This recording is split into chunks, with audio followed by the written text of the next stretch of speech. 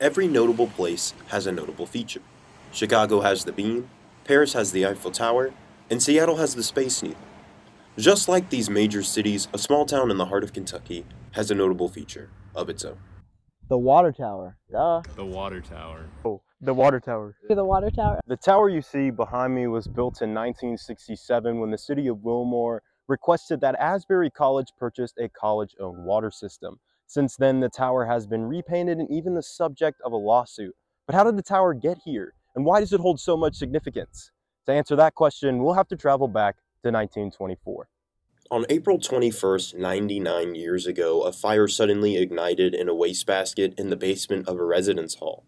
Despite help from local firefighters and student volunteers, high winds and lack of water pressure helped the fire consume two resident halls, a new power plant, half the new dining hall, and 11 private residences.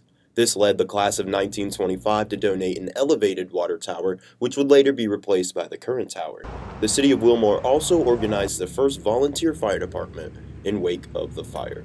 Water towers use electricity to pump water up into the tank at the top. Because the tank is elevated in the air, gravity naturally gives the water pressure to travel through pipes and out your faucet. This also means if the power goes out, the city will still have water pressure even without electricity.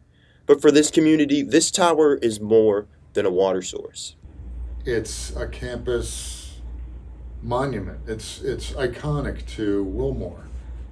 It's here. We see it every single day. I don't know that anyone knows really the history of it, how it got here, how many iterations of it there have been over the years. So I think it's it's a significant piece of Asbury's history, Wilmore's history. So I think we should we should at least know something about it. Sign of peace, and it's a symbol of love and water. I mean, it's just sustenance for the soul. So I can't. I don't have anything bad to say about it. You know. Maybe the next time you walk past the water tower, you'll admire its significance. Or maybe you'll even take it a step further and get a piece of Wilmore history for yourself. In Wilmore, Asa Callow, Newswatch 3.